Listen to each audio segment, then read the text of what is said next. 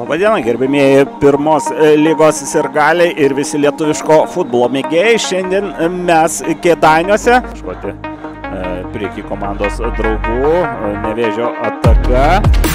Uždarka. Apsisuka rokas, smūgis ir... Ir kamolys e, vartų kampe. Štai taip. e, Gal ir netikėtai, bet 19 minutės smūgis iš e, už baudos aikštelės. Na, netrodys itin galingas e, ar labai stiprus, tačiau e, buvo labai tikslus ir kamolys įskrėjo į patį vartų kampą.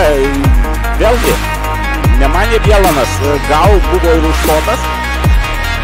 E, Išpokinėjo, išlėkė kamolys, tikslus smūgis į...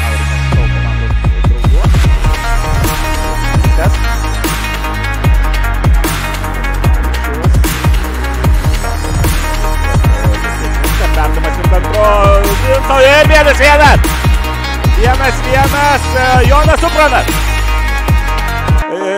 Kelia e, dabar jau tą tribūnų dalį, kur sėdė Hegelman komandos sirgaliai. E, Na ir atrodo, kad nevėžės nukentėjo nuo dviejų e, kėdainiečių e, sėkmingos kombinacijos. Aišku, ten dar dalyvavo ir kiti žaidėjai. Štai pasižiūri.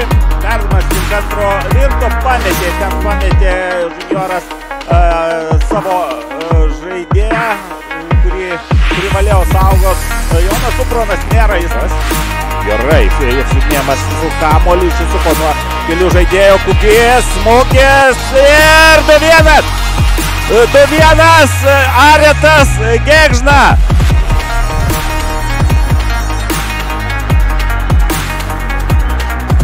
Džiaugiasi nevėžis, dešimtasis numeris. E, Ir vėl tas auksinis nevėžio duetas.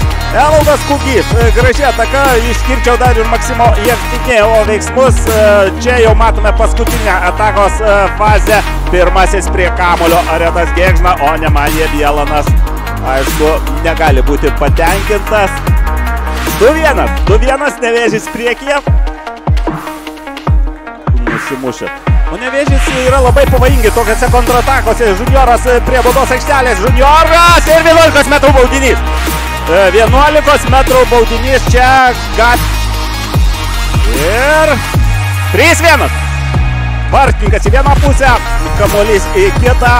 E, Tribūnos, e, didžioji dalis tribūnų e, atsistoja, ploja ir džiaugiasi trečiuoju kėdainių komandos įvarčiu. Rimta paraiška galutiniai pergaliai. 3-1, Tadas 3-1, nevėžys ir toliau tvirtai žengia pirmoje vietoje.